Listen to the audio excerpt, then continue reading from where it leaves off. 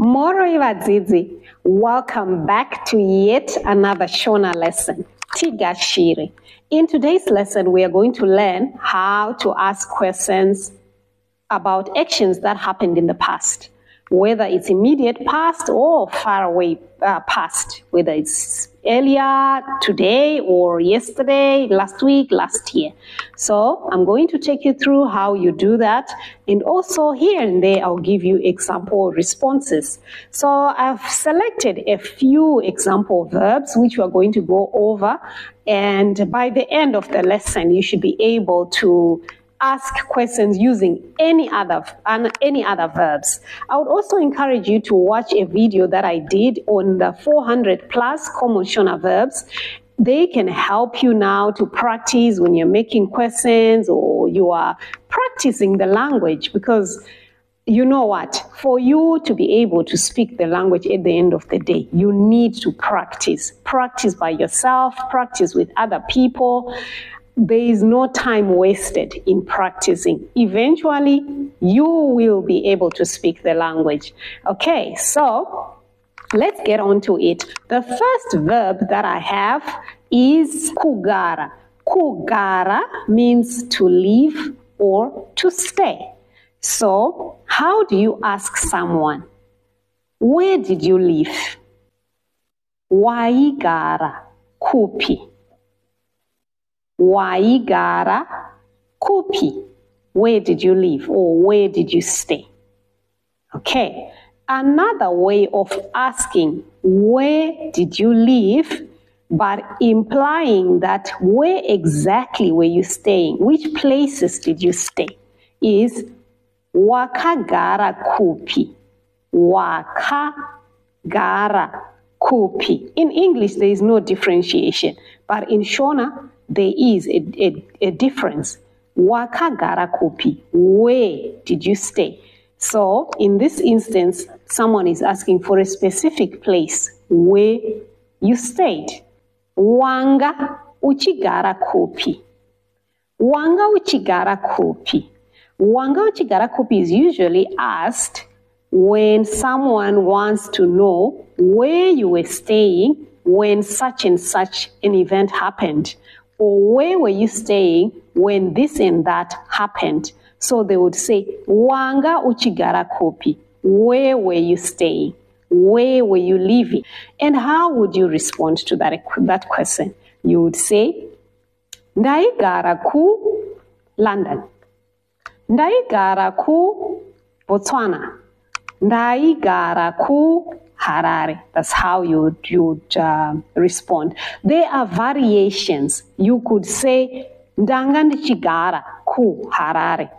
Or Ndaigara ku Harare. It means the same. As long as, as long as it's not a Shona examination, you are just speaking, you can use those two variations interchangeably. It's perfectly okay. You don't need to crack your head about it. The next verb that I have for you is um, to go. Kuyenda.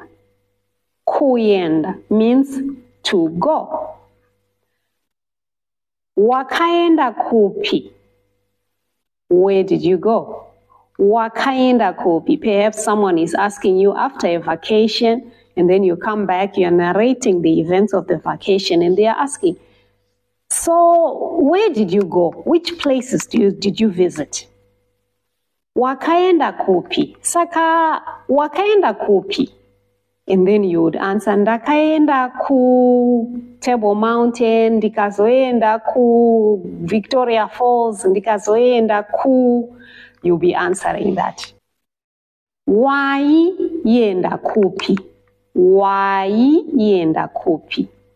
Wai yenda kupi means where were you going? Where were you going? I was going to my mother's house. Ndaienda kumba kwa mai vangu. Ndaienda kuchikoro. I was going to school. Ndaienda kushamwari yangu. I was going to my friends. Ndaienda ku. Waienda kupi? Where were you going? Ndaienda ku, name of the place. wanga uchienda kupi. Wanga uchienda kupi. Remember wanga is asked when when there is another action or there is another event that took place. Where were you going when i saw you? Where were you going at 10 o'clock. Where were you going when such and such a thing happened? So wanga uchienda kupi. Wanga uchienda kupi paya paya where were you going there when i saw you? Wanga uchienda kupi. Another verb that i have is kutaura to speak. Kutaura to speak. Remember ku is the prefix which means to and the base of the verb or the root of the verb is taura. How do you ask someone who were you talking to? Waitaura nani? Waitaura nani? Who were you talking to? Waitaura nani? And the person would answer ndaitaura na. And names the person they were talking to ndaitaura na. Okay? Another way of asking wakataura nani? Wakataura nani? To whom did you speak to? Wakataura nani? And they would say ndakataura na baba vake i spoke to her father. Ndakataura na amai vake i spoke to her mother. Ndakataura na tendai i spoke to tendai. Wakataura nani? To whom did you speak to? Okay what about if there is an action or something that was happening during this action of speaking? You want to ask someone. Wanga uchitaura nani to whom were you speaking to? When this and that happened to whom were you speaking when this and this happened? To whom were you speaking to when i came in? Wanga uchitaura nani? Pandasvika to whom were you speaking to when i arrived? Wanga uchitaura nani? The next verb that i have is to cook. Kubika. Kubika. To cook. You want to ask someone what were you cooking? You'd say waibika chi what were you cooking? Waibika chi what were you cooking? All right? And the person will say ndaibika whatever they were cooking. Ndaibika sadza. Ndaibika muriwo meaning i was cooking vegetables. What did you cook? Wakabika chi.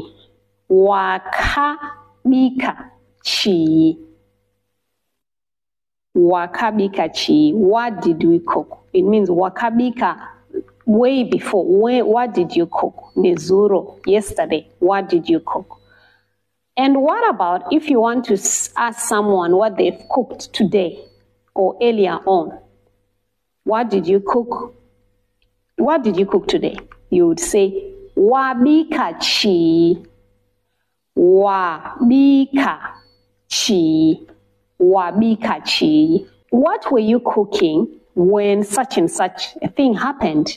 You would say wanga uchibika chi wanga uchibika chi what were you cooking? Wanga uchibika chi to take kutora. To take kutora. Okay. Let's start with the simple one.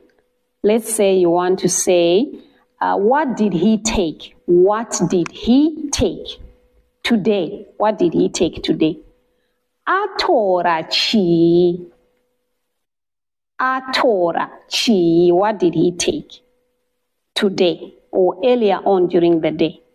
And if you want to ask, what did he take yesterday and beyond, yesterday, last week, last year, you say, akatora chi. Akatora chi. Okay, let's see another way of asking.